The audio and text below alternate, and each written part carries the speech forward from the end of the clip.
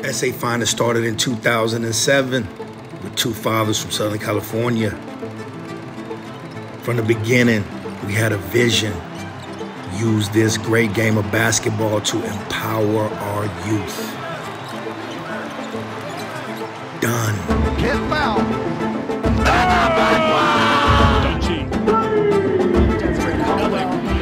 The process, 100 plus kids have earned opportunities to play at the next level.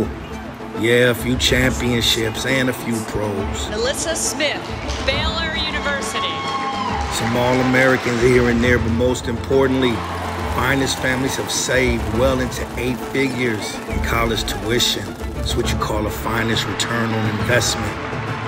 Little League women's side. In the corner, Vidal for three. Finest has helped grow servant leaders, many who are successful professionals, winning in this real game of life. Hey, it's time to go to another level, another platform, another experience, another opportunity to reach more, another avenue to empower.